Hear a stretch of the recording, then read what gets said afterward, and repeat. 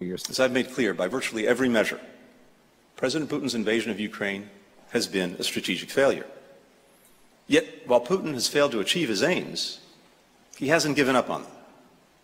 He's convinced that he can simply outlast Ukraine and its supporters, sending more and more Russians to their deaths, inflicting more and more suffering on Ukraine's civilians. He thinks that even if he loses the short game, he can still win the long game. Putin is wrong about this too. How do you not understand that words matter and how you frame your argument has a great deal of relevance to how your adversary reacts. Again, this is the language of the Cold War, which Biden does not seem to understand.